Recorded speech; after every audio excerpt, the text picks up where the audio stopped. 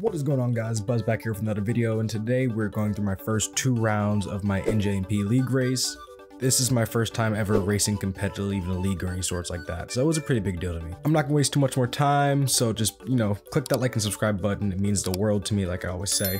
Um, unfortunately, I forgot to press the record button, or actually I turned my camera off before the qualifying session, Bruh. so I missed qualifying in the practice session.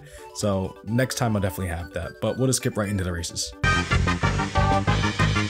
So I qualified P6. I was actually really, really happy about that. Um, I was like the fastest out of the new people. And I know my qualifying pace is typically a little bit slower than my race pace. So I thought we had a really good shot at a podium here. Unfortunately for me, my car did have one major weakness and had really, really terrible low end. So on the standing start, we had not the best launch you could say. We definitely dropped a couple places right off the bat. But coming off the line, you see P6 and P7 just breeze right past us. Um, they had, again, much better starts. I'm going to send it down the inside here. It's sort of going to stick. Not really. He's definitely going to have a good run still. And now we're going to have to try to battle him all the way down. But now we've also left ourselves exposed to everybody else behind. Luckily, they're not going to have the speed to get us going in the turn two. So we're just going to kind of tuck into the single file line and see what we can do here. I'm going to send down here. A little bit of brushing is all good. And we're going to get past. But now, again, left myself exposed. The low end coming out of the corner just wasn't there, and they're going to have a better run out. I'm going to try to send it down the inside here and try to hold the position. It's going to work for now, but again, the low end coming out is just not going to work. They're going to go right around me. Cart 21 is actually going to take a little cut through the grass. All good. And cart 27 is going to favor his chances right here too. And it's going to send down the inside. All good. Lap one. We're still in the race. We have the pace. So not too worried at this point. I'm going to take my chance here number 27, send down the inside again. I am going to brush him. It looks a lot more dramatic in the video than it actually is, so I promise I did not just punt him off the track. Now we're back chasing 31. We're just going to get behind and try to bang in some laps and see if we can catch up. Through turns 2 and 3, we definitely have a pace advantage to see if we can get right up on his front bumper here. And I'm definitely going to take the shot to try to get the overtake done coming out of turn 3. He looks the wrong way. He thinks he's going with the right side, and I'm just going to stay behind him for now. I'm not going to rush the overtake.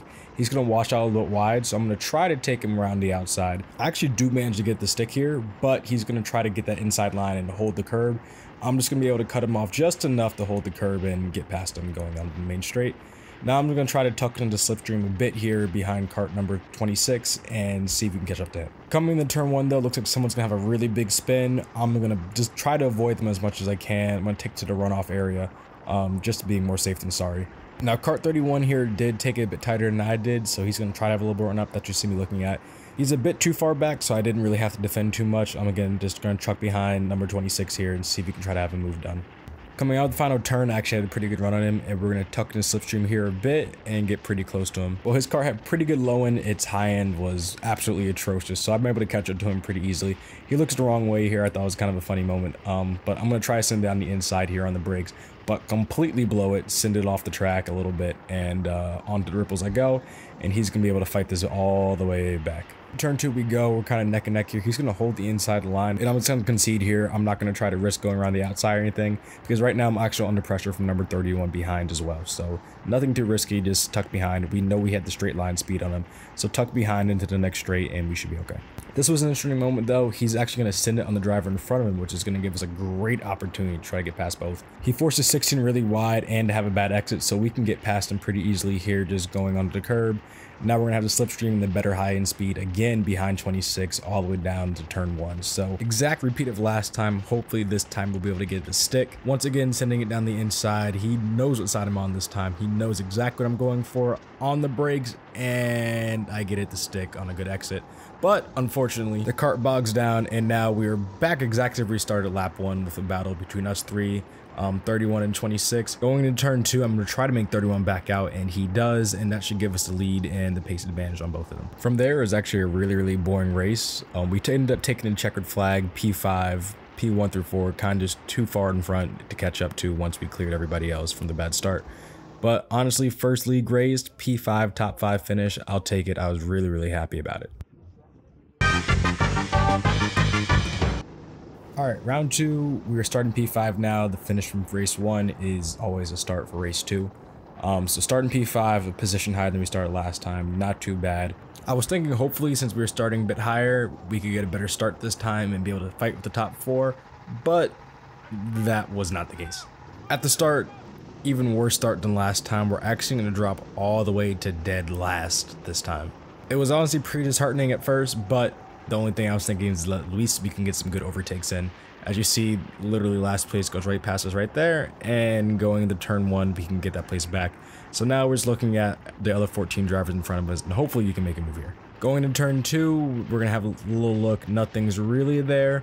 Going to turn three, perhaps, um, but we're going to opt to back out a little bit and just kind of get behind everybody and see what happens. Sure enough, driver 32 goes a bit wide and we're going to send it down the inside, but gets squeezed a bit by number 27 coming across. Um, we're going to squeeze 32 a bit and get back into the corner, but we're going to be able to get that overtake done. Now looking at driver 27 coming down the main straight, we know we have some pretty good top end speed, so hopefully we'll be able to get past him either on the straight or going into turn one. Don't quite know what happened here, but it looks like he lost touch with the driver in front of him a bit. I give him a bit of a bump because there's not really a reason to overtake him right now. We can kind of use him to kind of catch up to the other drivers, but we're going to send down the inside of turn one again. I think this is actually the same driver he forced wide last time, so sorry to do it to him twice, but we got to get going.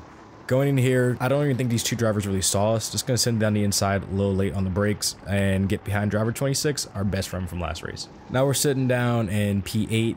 We know we have better pace than driver 26 here. Um, not to his fault. I think his cart was just slower on this day. Um, gonna send down the inside here. I think we're gonna manage to get a stick, and it does. And just like that, we are back up to P7. Unfortunately, that is where our excitement ended, and we weren't really able to make many more overtakes in this race. We're in P7 right now. P6 actually ended up having a spin which allowed us to get past. Unfortunately, we weren't able to make really much of an impression on the drivers in front. The good news is they weren't getting any further away, but the bad news is that we weren't getting any closer, so we are probably on equal pace. Um, they were also kind of towing each other along. The top four tend to do that in this league, so being so far removed was just kind of painful. So we kind of had our own race the first two races, but I'll take it, a P5 and a P6 in the first two races in my first league, not too bad, which would put us P5 in the standings overall. But that's the video. I hope you guys enjoyed it. I know it's a little bit shorter than what I typically do, but there wasn't too much exciting racing to go on. Hopefully I can give you guys some more exciting races in the future. But again, if you guys like this, please like and subscribe and leave a comment. It means the world to me. And I'll see you guys next time. Peace.